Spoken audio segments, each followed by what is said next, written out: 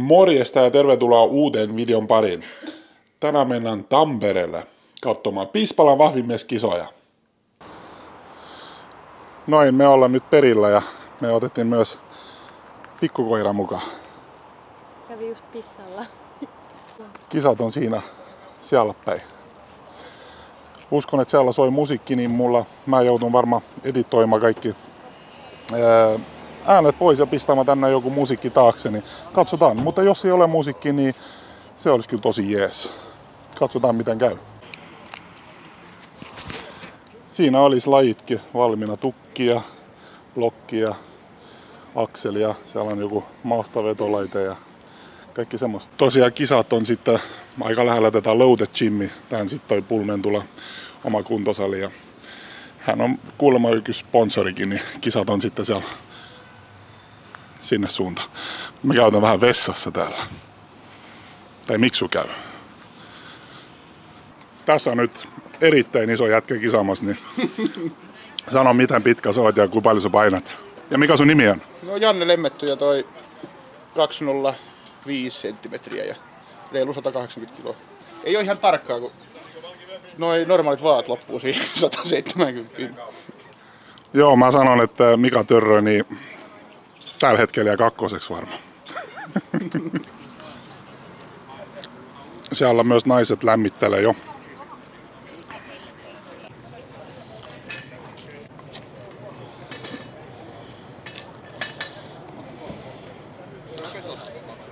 Miltäs tuntui Mainu? Onko, onko hyvä olo? Oh, nyt on kyllä ihan hyvä olo. Pieni semmonen kutkuttava jännitys tällä hetkellä. Kyllä se siitä. Pientä lämmittelyä vielä.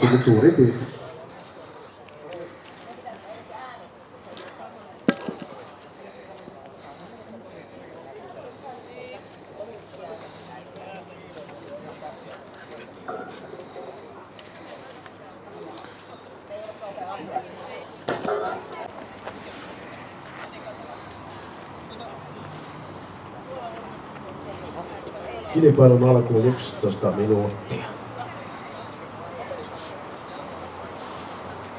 Veera Kolppanen. Mukana myös Hanna Majander, Katarina, Katarina Ruuskanen, Tiina Toveri sekä Sari Tuulen. Ja kukaan ei tässä kohtaa loukkaantunut muuta kuin henkisesti, joten olemme hyvässä tilanteessa. Kisat voivat naisten puolesta kohta alkaa. Miesten puolella mukana yhdeksän urhoa, joista ensimmäisenä Janne Fagerlund, Jesse Ilvonen, Manu Kurri. Manua saa kannustaa tänään tuolta Turusta, vaikka onkin satakuntalais lähtenyt. Turkulainen Tampereella on aina kummallinen ilmestys. Mutta sitten Kisan suurin kilpailija löytyy tuolta Hämeenlinnan suunnasta, eli Lemmetyisen Janne, tervetuloa. Kisojen ensikertalainen. Fyysiset mitat ainakin on vahvamiehelle oikein, oikein mallikkaat. Lassi Myllyharju, kilpailijoiden nuorimmasta päästä. Ilmaisen Jesse on varmasti tällä hetkellä nuori, mutta, mutta ei sinkään suinkaan viimeisin ja vähäisin. Kuka tästä on ennakkosuosikki? Sitten olla meillä täällä toisessa reunassa ja Pekka onkin sitten meidän kisan mestori. Hän on täyttänyt 28 ja vähän useampaa kertaa, kuten myös Puumalan Janne. Roikosen Santeri. Ja sitten Juukan Juuasta ponnistava kultakurkku Riki Vuokkonen. Kiitoksia kilpailijoille.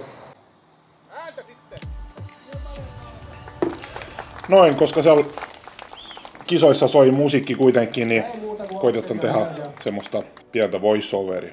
Eli tämän Hanna Majanter ja Janne Lemmetty nyt ää, ensimmäistä laji suorittamassa, mikä on sitten punnerusyhdistelmä.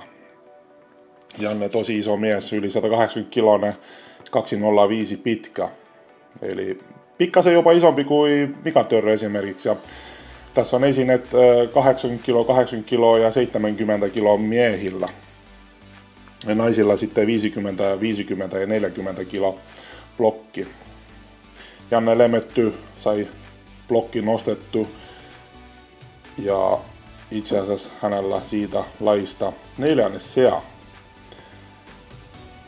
Katsotaan, saako Hanna vielä blokki nostettu ylös, niin siitä tulisi kyllä tosi hyvät pisteet, mutta ei ihan vissi taita mennä, mutta Akseli ja Tukki meni kuitenkin hyvässä ajassa ja siitä hänellä kolmas sija. Katariina Ruskanen ja Lassi Myllyharju seuraavaksi. Molemmilla tosi kevyesti meni Akseli, seuraavaksi Tukki. Tosi kevyesti molemmilla ja katsotaan nyt viimeinen blokki. Tätä on tosi hankala nostaa, varsinkin jos et ole paljon aikaisemmin nostanut. Niin... No niin. Katariina Ruuskanen ai, ei saanut kumpikaan. No niin. Ruuskanen kuitenkin ylittää vielä ja ihan raaka voimalla ja sai se kuitenkin ylös. Ja tästä laista hänellä kakkossija ja Ai, ja, mutta sieltä ei tullut ja mies oikein kompastuikin siinä. Ei käynyt kyllä mitään pahasti, niin se vaan muuten vaan kompastui. Seuraavaksi Tiina Toveri ja Jesse Ilvonen. Jesse vetää se suora ylös siitä, ei mitään ongelmia. No niin, tästä tulee varmasti nopea aika. Jos saa vielä toi blokki yhtä nopeasti, aika kevyesti nousi kyllä ylös ja tästä on varmasti hyvä aika tulos, jos nyt... No, joo, ja hyvin nousi tääkin. Veikkasin ainakin kolme, kär... kolme parhaan joukkoa ainakin.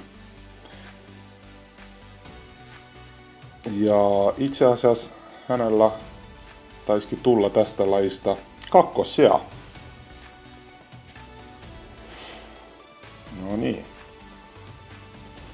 Saanko vielä tukki? Ei ihan tullut vielä. Seuraavaksi mun valmennettava Manu Kurri ja Veera Kolppanen. Manulla meni akseli hyvin, Veerallakin akseli hyvin. Siitä tukki suora ylös. Tämä on tosi hyvä tekniikka, jos sen osaa tehdä näin. No niin Manu.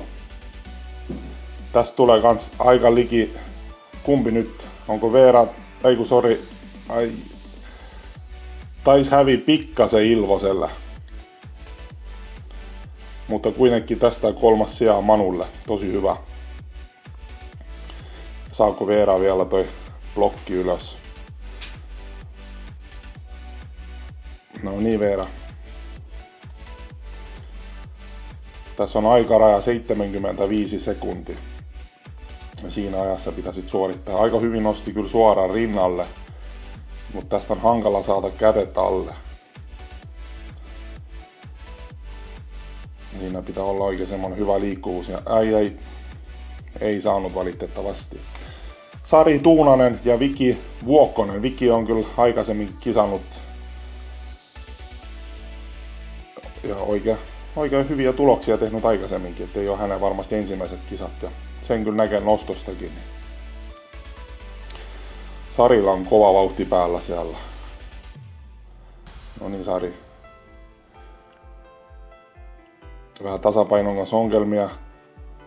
Nojas se hetkeksi pään päällä, mutta ei saanut vielä ylös. Mut ei,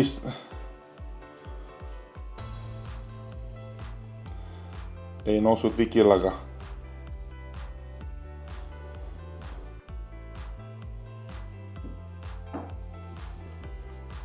No niin, Viki sai se kuitenkin ylös. Seuraavaksi Santeri Roikkonen. Näyttäisi vähän siltä, että ei ole paljon nostanut akseli aikaisemmin, niin, mutta aika hyvä saksa, saksaustekniikka kyllä hänellä nyt näyttäisi olevan. Mutta vähän näyttäisi siltä, että väärin otti kyllä se yritti ottaa rinnalle mun mielestä ainakin. Katsotaan miten 80 kilo tukkii ja se nousi kyllä kevyesti. Mutta seuraavaksi sitten 70 kilo blokki, niin vaikka tämä on 10 kilo kevyempi, niin tätä on tosi hankala nostaa. Vaikka punerusvoimat riittäisi, mutta kun siellä oli se tasapaino ja kaikki semmoisen, miten sä saat kädet sinne alle ja ne tuottaa hankaluuksia, ei tullut tästä. Pekka Okulov suora rinnalle ja ei mitään ongelmia, ylös vaan. Seuraavaksi tukki. Se pitäisi saada kans suora sieltä ylös, niin säästäisi aikaa. On kyllä raaka voima, ei paljon jalkoa käyttänyt tässäkään. Katsotaan miten toi blokki.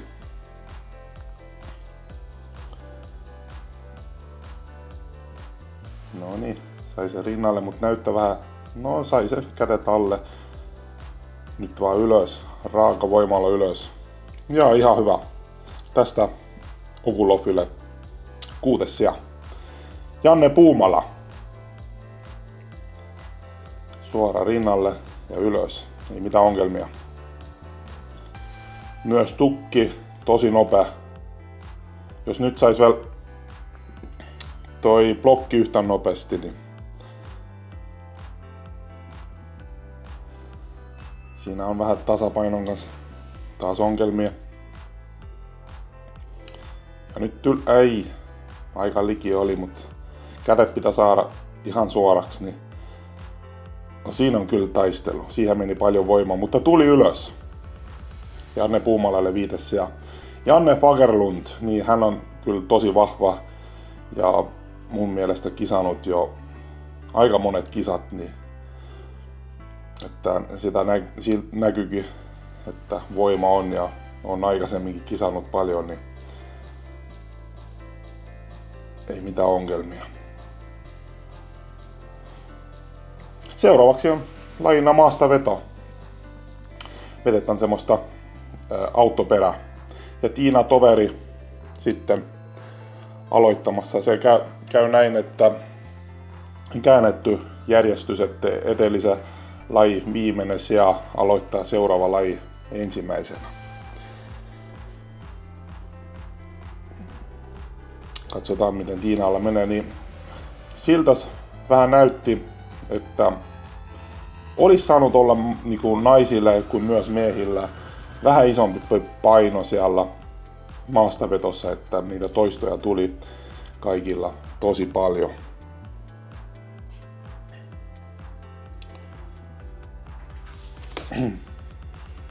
Siinä Tiinalla tuli hyväksytty nostoja 14 kappaletta yhteensä, niin koska tämä aloittelijoita kisa, niin tässä tehdään aika paljon virheitä, ettei kuunnella tuomarikäskyjä. Että tuomarikäskystä nostetaan ja lasketaan alas, niin tosi tosi monella kilpailijalla meni tosi monta toistohylky. Ja tässä nyt seuraavana on sitten Veera tekemässä maastaveto. Niin siinä on hyvä se, kun sä menet viimeisenä nostamaan, niin sä tiedät, miten paljon on edelliset nostanut. Että esimerkiksi jos menet viimeisenä, sä, sä tiedät, että paras on joku, sanotaan vaikka 15 toista, niin sit sä vetät se vaan yhä enemmän. Ja se on siinä, että ei tarvi vetää ihan loppuasti. Mutta jos olet ensimmäinen, niin sitten on pakko vetää niin monta kuin vielä tulee. Ja Veeralle tästä hyväksyttyjä nostoja 14 yhteensä tuli. Seuraavaksi Turusta Hanna Majanter. Ja siinä itse asiassa näkyykin, että mä en edes laskenut monta kertaa hän vetää tässä, mutta laskettuja, hyväksyttyjä nostoja hänellä tuli pelkkä 13, mitä on kans hyvä, mutta siinä meni tosi tosi monta nosto hylky. Tämä on kyllä aika kova maastavetäjä. Hän ei kuunnellut käskyä siinä, että kun piti myös alapuolella odottaa käskyä, että kunnes saa nostaa, ettei tulisi semmoista niinku pomppu siinä. Mutta hänellä on kans ehkä pari kisaa selän takana, yksi tai kaksi veikkaisin. Niin. Mutta joo. on kyllä muuten aika kova maastavetäjä. Olisi tullut ehkä, jos olisi kaikki laskettu, siis en tiedä, mutta olisi ehkä tullut jopa lajivoittokin siinä. Niin. Mutta veti kyllä aika loppuasti. Niin. Katarina Ruuskanen.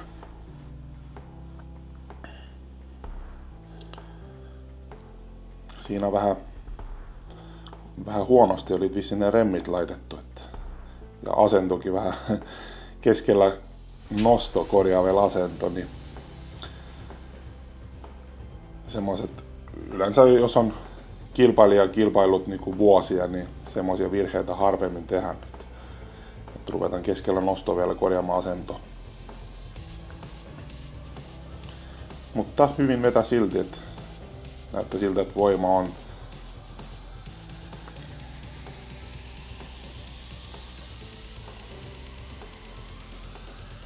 Ja siinä vedetään taas ihan loppuasti. Tästä jos vetät ihan loppu, niin on tosi vaikea jatkaa niin kuin koko kisaa, koska pistetään kaikki voimat tänne. Niin. No niin. Sari Tuunanen seuraavaksi. No tää ei paina kyllä hänelle mitään. Tulee kuin tyhjä. Niin kuin tyhjä tanko. Vaikka tämänkin autoperä nostaa.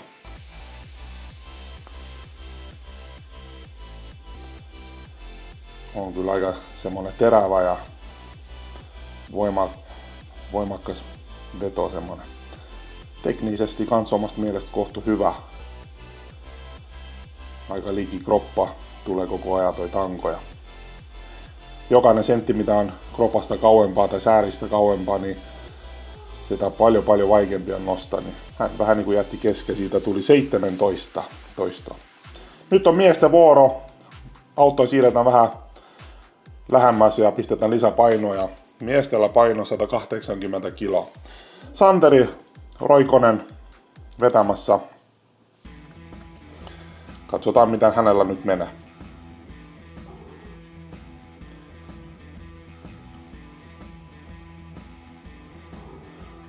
No niin. Hyvä näköinen veto. Toistoja tulee hänellä 12 tästä.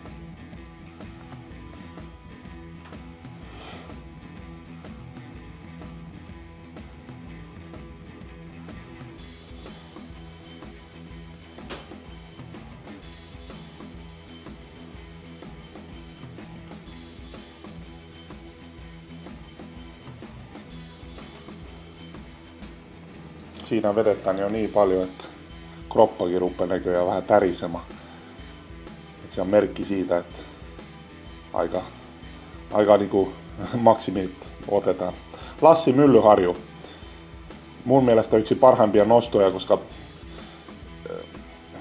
siinä on semmoinen alku tulee pikkasen muutama sentti tyhjää ja itsekin ajattelin, että se pitää käyttää hyödyksi, että vedetään niin vauhtilla ylös se sieltä. Ja hän just sen Matti tekeekin, niin nuori poika, ei ole isommista päistä, mutta tosi hyvin kyllä vetää.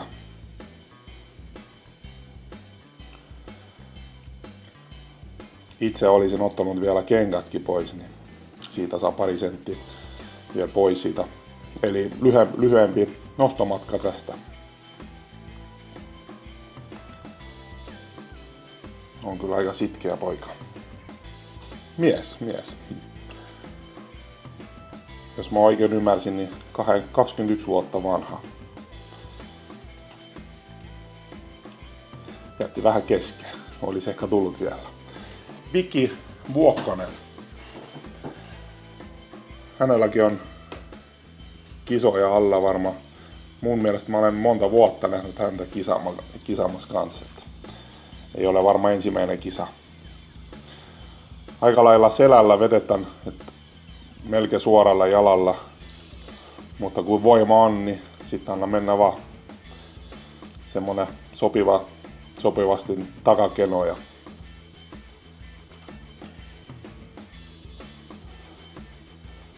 Mutta toistoja tulee kyllä aika paljon. Niin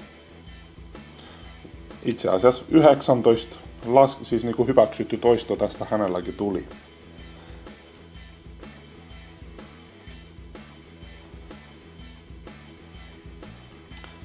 Jos toistot menee sinne 15-20 sinne luokka, niin mä sanon, että se kyllä se on niinku henkisestikin vaikea vetää.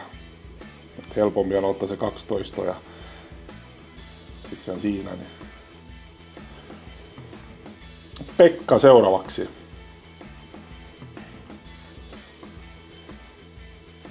Kans hyvä näköinen nosto.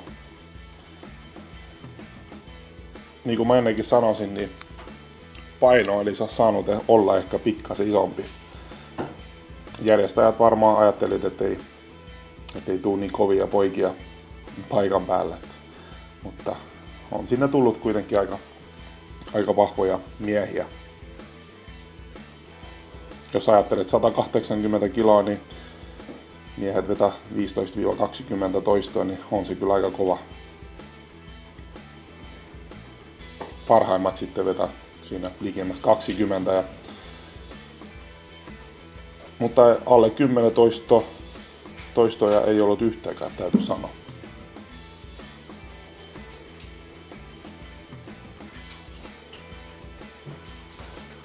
Seuraavaksi sitten Janne Puumala.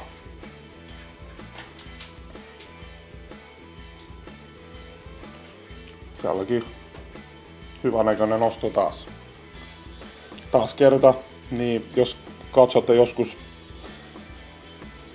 semmoisia kisoja, missä on ää, enemmän, ei ehkä niin aloittelijat, niin huomaatte varmasti, että suurin osa vetää ilman mitä kenkiä sukkilla tai sitten semmoisilla erikois tossuilla tai semmoisilla vähän niinku sukkilla itse asiassa, millä on oikein ohkana semmoinen pohja, niin koska siitä saa niinku pari sentti nostosta pois, mitä auttaa tosi paljon kuitenkin. Ja Jannelle tulee tästä 19 hyvi, hyväksytty nosto.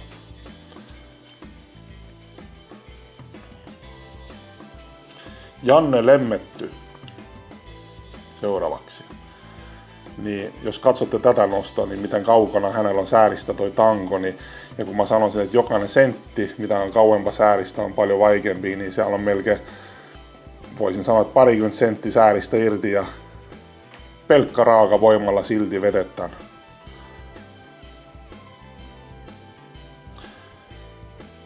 Iso mies, niin siinä varmasti ei, jos toistot menee isoksi, niin ei sitten jaksa enää niin paljon. Niin. Kymmenen toisto hänellä tuli tästä valitettavasti viimeinen sija, mutta tekniikka oli kyllä, sanon, huono. Semmoisella tekniikalla 10 toistoa on, on kyllä kova. Manu Kurri, eli mun valmennettava. Hänkin vetää, niin hänellä jäi yksi toisto hyväksy, tai siis hän veti yhteensä, no mä sanon nyt etukäteen, 21 toisto, mutta hyväksyttyjä nostoja oli 20. Mä en nyt tiedä, minkälainen toisto niistä oli hylätty, mutta kyllä mä sanon, että siinä alussa, niin kuin, joo, oli ehkä, olisi pitänyt olla ehkä selkä niin kuin hartiat takaa enemmän. Mutta mä ajattelen, että Manulle se ehkä ei ole niin kuin kaikesta paras laji, mutta tästäkin kuitenkin hän otti loppujen lopuksi kolmannen sijaan. Ja tästä vedettiin kyllä kaikki irti. Siinä on jo tasapaino-ongelmia. Jesse Ilvonen nuori poika, 17-vuotias mun mielestä oli Jesse. Ja siinä vedetään oikein raivolla. Tosi helpon näköistä. Siellä takana oikealla puolella näkyy, näkyy Jere Ilvosta, hänen isoveli. Ja Marko Patteri, hän iskä sitten, myös valmentaja.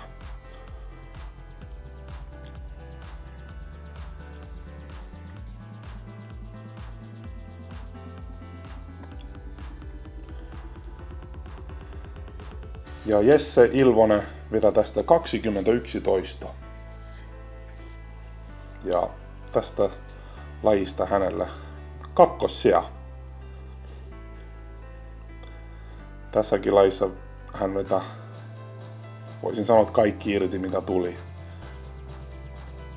Tosi hyvä. Janne Wagerlund. Tää on nyt semmonen kuin nosto, kun voima on tosi paljon, mutta siinä vetettiin semmoisia turhia nostoja, koska ei katsottu ää, tuomari. Eli tuomari käskyjä, ylös ja alas. Siinä meni hylky tosi monta nosto, mutta sanon nyt etukäteen, että tästä tuli hyväksyttyjä nostoja 22, eli Jannelle tästä lajivoitto. Ja mun mielestä hänen ykkösmaksimikin, niin paljon kuin mä olen jostain Instagramin postauksista nähnyt, niin pitäisi olla aika liki, likemmäs 300 kiloa maastavetäjää. Niin, eli tästä porukosta varma kovin maastavetäjä. Seuraavaksi sitten Kilven kanto. Janne Lemetty ja Katariina Ruuskanen. No niin, Janne, iso mies. Isot jalat. Iso askel. Ruuskanen menee kans tosi nopeasti.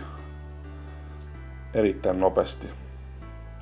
Miehillä oli paino 120 kiloa ja naisilla 70 kiloa.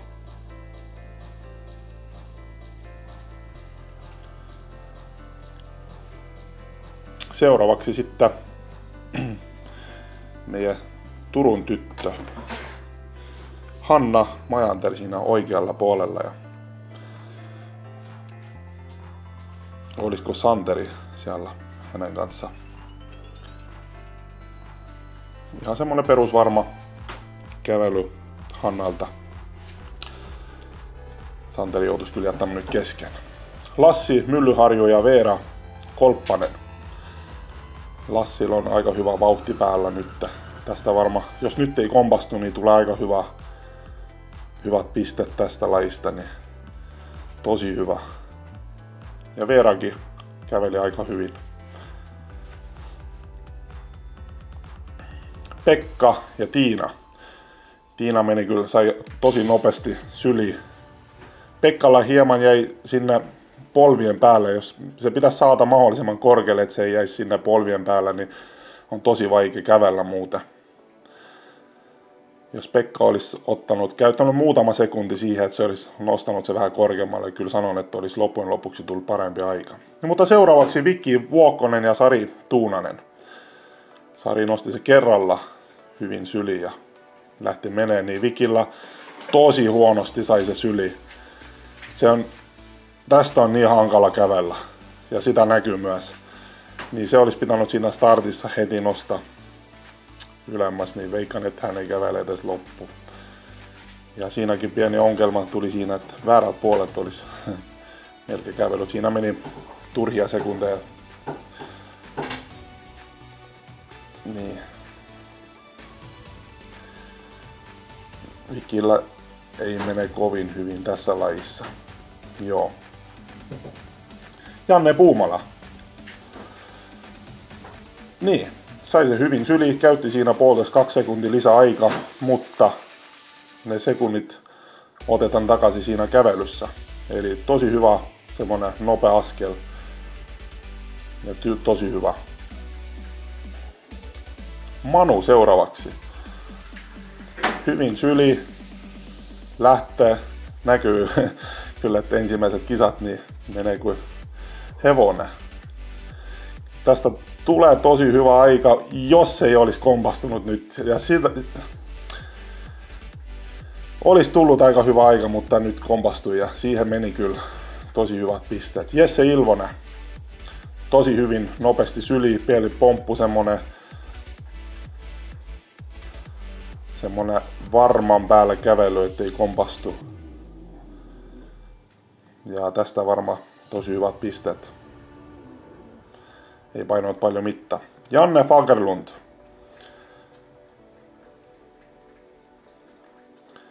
Olisi voinut omasta mielestä pikkasen saada enemmän syliin, niin olisi ollut kans ehkä parempi kävelläni. Niin- Noin. Seuraavaksi sitten Dinny Stonesia pito. Eli pitää, pitää niitä niin kauan kuin pystyt sormissa, eli semmonen grippi, grippilaji. Tota, miehillä on painot 95 kiloa ja 110 kiloa, eli sitten vielä eri painoiset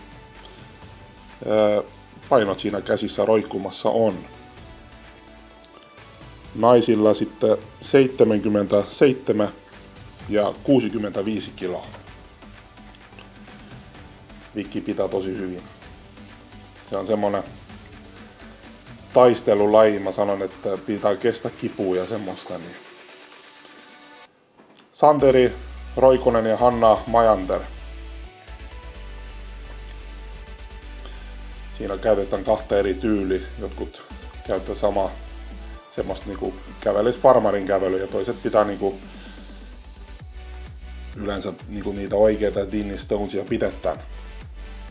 Dinny Stonesit semmoset on tullut Skotlannista. Siellä pidetään, mä en muista tarkka, mutta olisiko joku 180 ja 100, en tarkka nyt muista, mutta isoja kivejä, just pidetään näin. Seuraavaksi sitten mun valmennettava tässä Manu, niin treeneissä ei ole kauhean hyvin onnistunut tämä laji. Sitä näkyy myös, että ei nytkään onnistunut. Pekka Okulov ja Veera Kolppanen.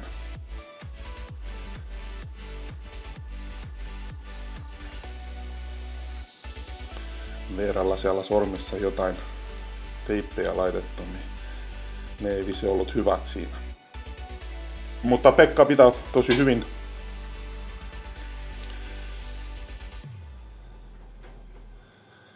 Vieralla jotenkin ei onnistu tää laji.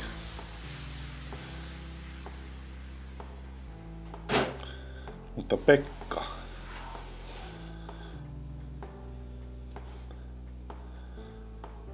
Tästä tulee kyllä tosi hyvä aika.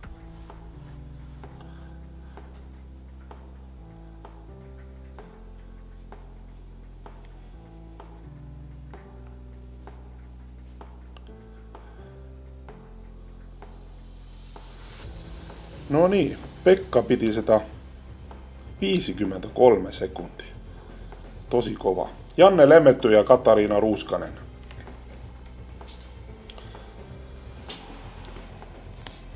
No niin. Janne Lemmetty syö, syö purkkakin vissi samaan aikaan, kun se pitää niitä. Että vaikutti siltä, että ei, ei paina käsissä mitään. Se vaan puuskuttaa. On kyllä todennäköisesti tosi kova pito ja sormissa tosi niinku, näpit pitää aika hyvin.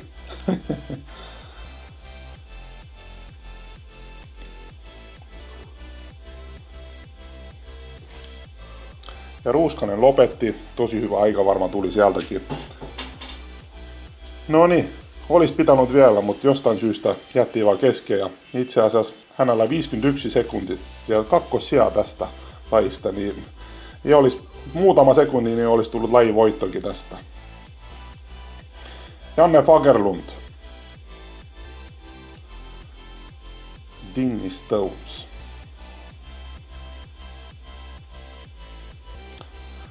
Tuotta pikkasen vaikeuksia, niin 23 sekuntia ja viides siellä tästä Lassi Myllyharju. No niin. Nää ei paljon nousunut maastakaan ja ei ollut kovin hyvä pito tässä. Jesse Ilvonen. Katsotaan miten nyt Jessa pitää niitä.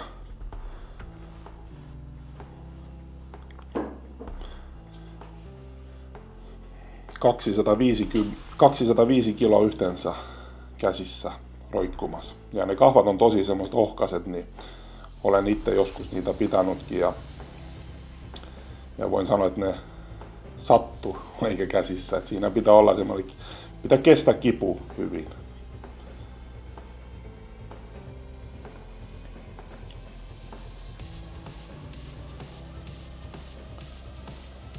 Ja Jesselle tästä lajista kolmannes sija 43 sekuntia. Janne Puumala seuraavaksi ja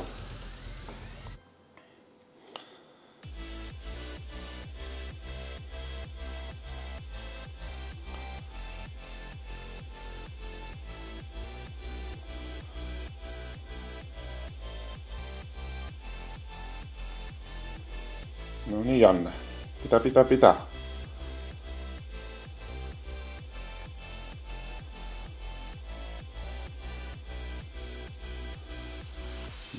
Jannelle tästä viides sija ja 35,41 sekuntia. Seuraavaksi lastaus. Lastauslaji. Eli lastataan kolme esinettä.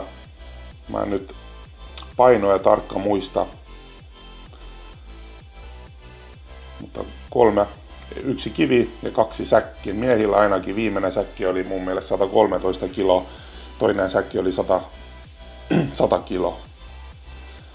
Olisiko naisilla ollut joku 50, 50 ja 60 tai joku semmonen. Ja se säkki varmasti paina enemmän kuin jätkä itse. Ja hyvä. Hyvä työ. Tää oli tämän päivän viimeinen laji. Sieltä menee kans ja saa laji suoritettu loppuun. Hyvää työtä. Seuraavaksi Santeri Roikonen ja Hanna Majanter. No niin, Hannalle kivi ei paina mitään.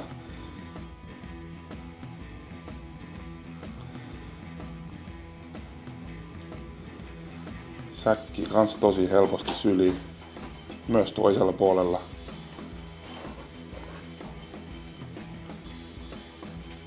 mun mielestä tosi hyvä, kun itse tykkään, kun niinku, jos on miehille ja naisille erikseen kisat, niin mutta kuitenkin kisataan sama aika, niin mun mielestä on tosi mielenkiintoinen. En ole paljon nähnyt semmoista, mutta tosi hyvä. Ja Hanna lopetti, niin tästä tuli Hannalle varmasti tosi hyvä aika.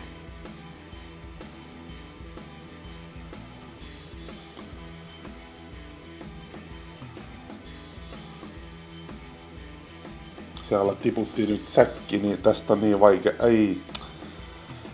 Manu Kurri ja Tiina Toveri. No niin Manu. Kivi ei paina mitään, vaikka on tosi monta. Neljä lajia on selän takana, mutta silti jätkät ja tytöt jaksaa paina. 100 kilo säkki ei paina kans mitään. Ja nyt viimeinen 113 kiloa oli mun mielestä tää säkki. Ja hyvin sai yli heti. Ja kohtu reivas askelkin tästä vielä. Hyvä Manu. Manu oli itse asiassa tästä lajista neljännes sija. Ihan hyvä. Kolmannesta sijasta jäi vaan sekunti puuttumaan. No niin, saako vielä ylössä?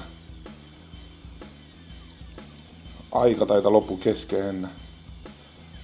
Tässä on myös 75 sekuntia aikaraja. Seuraavaksi Sara, Sari Tuunanen ja Janne Fagerlund. No niin, Sari ja Janne.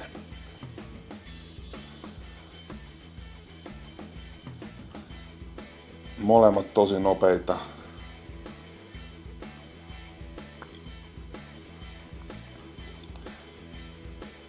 Sari sai kyllä säkki tosi nopeasti syli.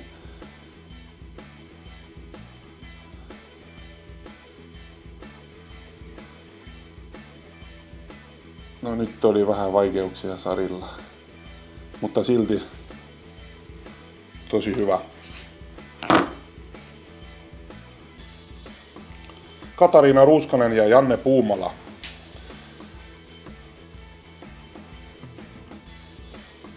kivet tosi helposti molemmilla. Seuraavaksi säkki.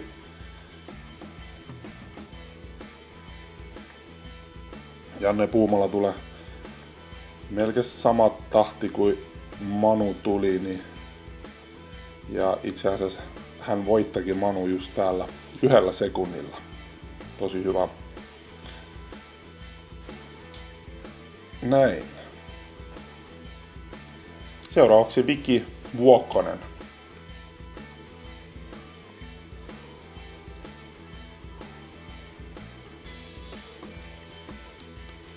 Kivi syli ja menoksi. Voisi kyllä koittaa pistää vähän enemmän vauhtia. Myös takaisin juosta pikkasen nopeammin. Näyttää siltä, että on vähän väsynyt jo.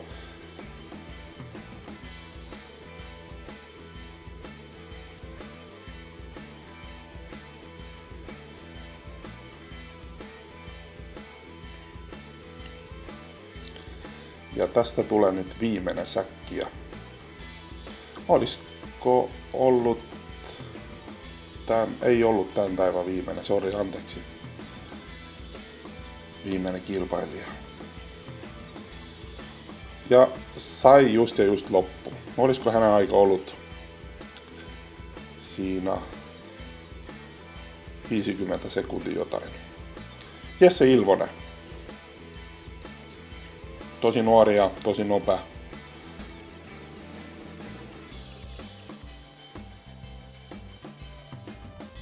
No niin, nyt tulee kyllä tosi hyvä aika.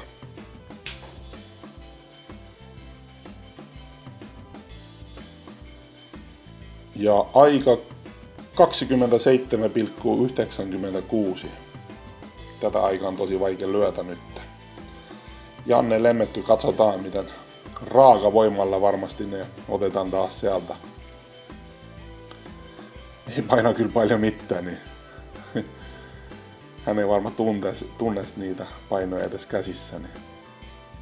Hänellä on varmaan takaisin juosta yhtä vaikea kuin niitä säkkien kanssa juosta. Niin.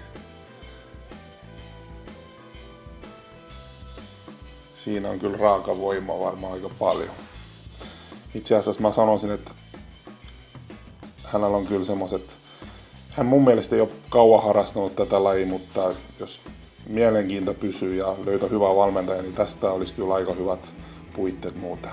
Mutta joo, tää oli kyllä vissi, ei ollut. Nyt tulee viimeinen. Pekka, totta kai mä unohtin kokonaan Pekka.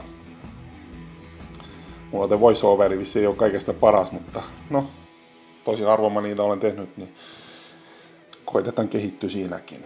Pekka, joo. Katsotaan vielä Pekka.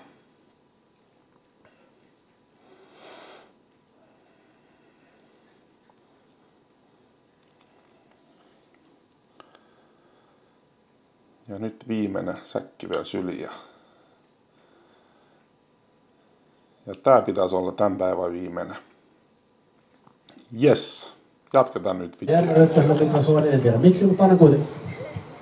Sen takia, koska mulla on yleisöäänet.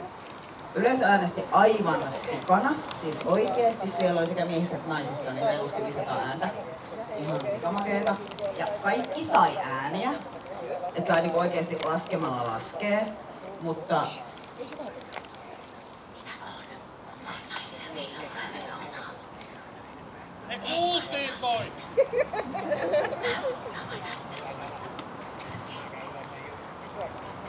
niin tota, niin naisten kuitenkin selkeällä äänierolla, niin yleisön lemppari oli Veera.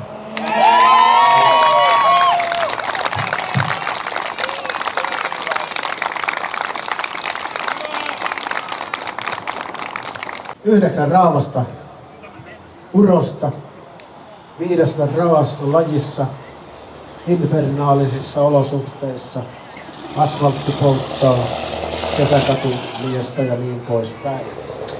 Tänään miesten sarjan yhdeksäs pisteen 13. Kerron sen kohta. Äskeisestä vielä se, että Sarin ja Katariinan välinen pisteero oli yksi piste. Eli sekä kolmas, neljäs ja viides oli todella tiukkaa vääntöä, mutta myös ykkös- ja kakkospäivän paikan pisteero, välinen ero oli vain yksi piste, eli siinäkin käyty kovaa kisaa. Mutta Miesten sarjassa pisteen 13, siellä 9 Santeri, Toivonen.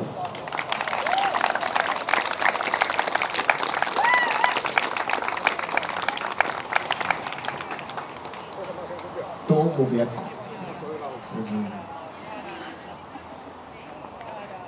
Olisiko täällä ketään kehonrakentaa, voisiko näyttää, miten se autahankin voisi tapahtua tässä.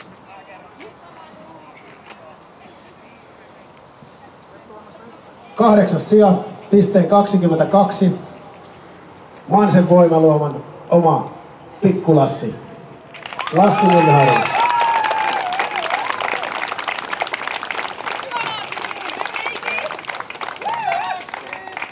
Tätä nuorta miestä kannattaa lajin parissa tulla seuraamaan, sillä Lassi, Lassi kilpailemista ja suoritusta on aina ilo seurata. Energiaa riittää ja hyviä suorituksia. No, ei, pieni ja heikkohan sä oot, mutta ei se mitään, ne korjautuu ajan mittaan. Mutta energiaa ja intoa pitää olla, asennetta ei voida opettaa eikä harjoitella.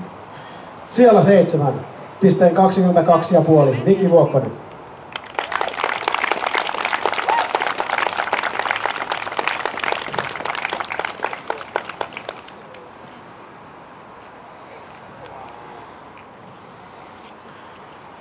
Kuudes sija, Helsingin oma Pekka Okulov, pisteen 29.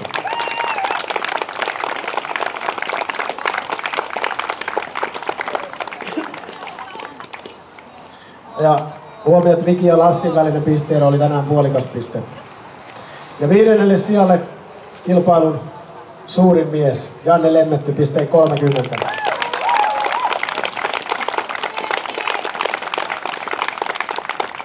Hämeenlinnalaisen Jannen ensimmäinen kisa, kisa oli tämä tässä ja Janne ja Pekan välinen pisteero oli myös yksi piste, eli viides ja kuudes sija oli myös kovassa väännössä. Neljäs sija tänään pisteen 31, huom 31, eli vitonen, nelonen, vitonen ja kutonen. Olitte kaikki yhdet niin pisteiden välein, eli kahden pisteen sija sisällä. Ja lohdutukseksi kaikille porilaisille, kyllä Manu Korri oli neljäs tänään ja hän ei ole siis turkulainen, vaan hän on oikeasti porilainen.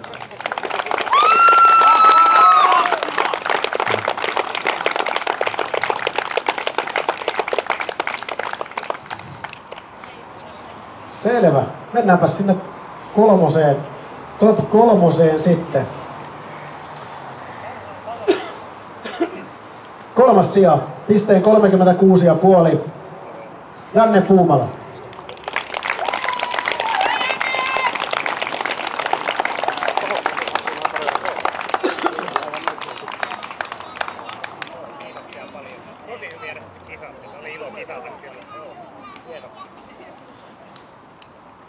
Sitten olisi kaksi jäljellä. Siellä olisi yksi kappale Janne jäljellä ja sitten vielä ainutlaatuinen Jesse.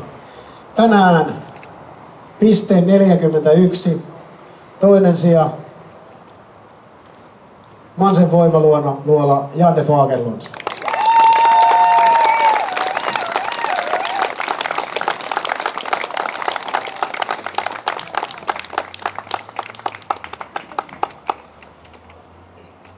Pispalan vahvin 2024 miesten sarjan voittaja, pisteen 45, Jesse Ilvonen.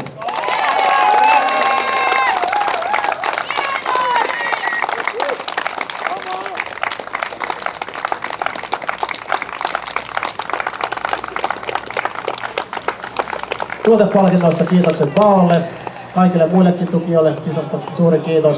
Mutta nyt olisi sitten vielä yksi, yksi merkittävä asia jäljellä. Erno, me mietittiin tuossa tuon Tuomaksen kanssa, että voisit mennä tuonne säkkien päälle seisoon, niin kaikki näkisivät sieltä, jos sä haluat mennä sinne. Mutta jos et sä halua, niin sä voit tulla tänne kanssa. Mutta tämä oli naisten puolellakin, niin myös miesten puolella on ollut yleisön oma suosikki, jota on äänestetty messevään määrään ja ojennan mikrofonin Ernalle, joka saa teille sen kertoa. No niin, eli miehille kanssa ääniä aivan pikona, mutta miehissä jostain syystä on olemassa sellainen kansansuosikki, joka oli jo tuolla edellisissä kisoissansa sellainen selkeä lemppari, niin Lassi.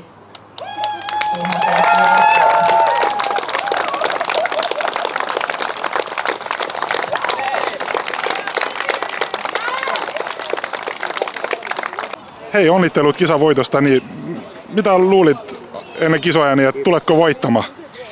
Tota, en ihan voittaa tiedä, mutta palkita pallille mä olisin halunnut, mutta tää on vielä parempaa.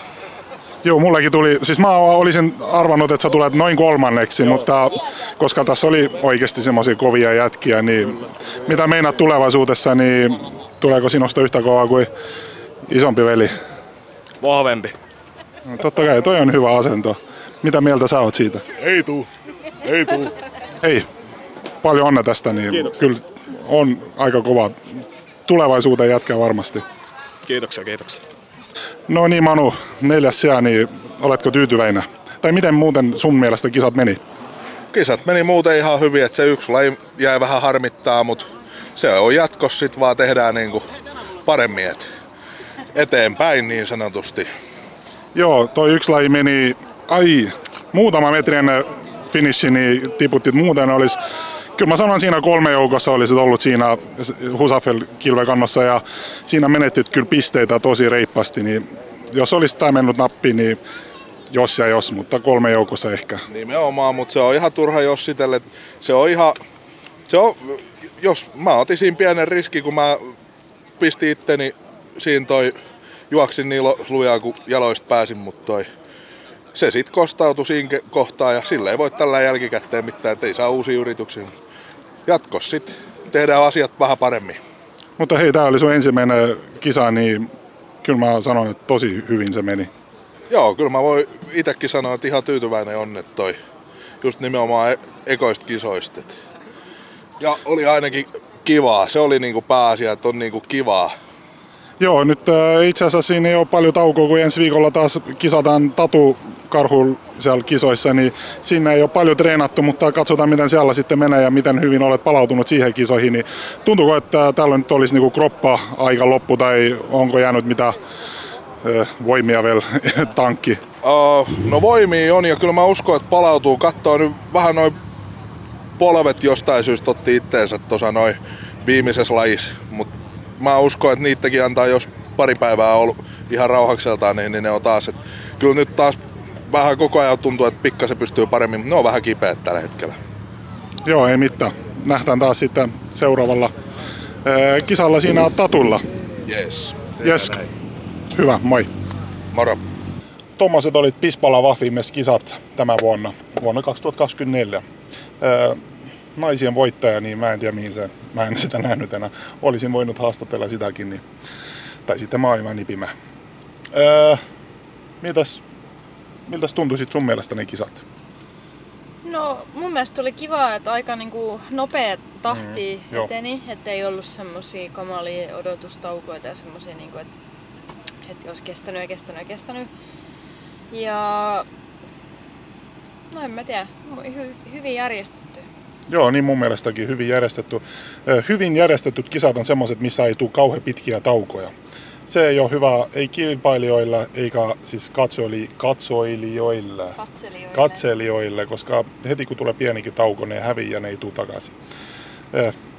Tosi hyvin järjestetyt kisat mun mielestä. Ei mitään, me mennään nyt Miksun kanssa johonkin syömään, mutta me nähdään taas sitten seuraava video parissa. Se on moi. Moi.